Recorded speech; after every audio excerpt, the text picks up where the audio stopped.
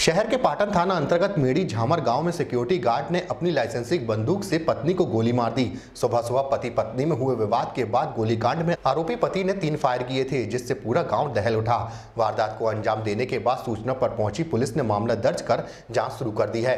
Police ने प्रकरण दर्ज कर शव को पीएम के लिए भिजवाते हुए आरोपी की तलाश शुरू कर दी है।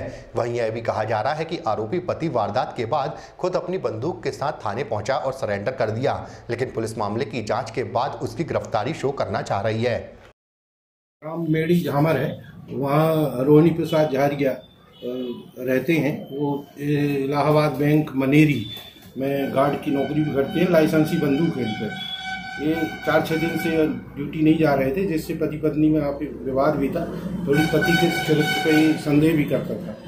ये चार दिन बाद आज कटंगी से सुबह सुबह वापस आया और पत्नी इसके लिए नाश्ता बना रही थी।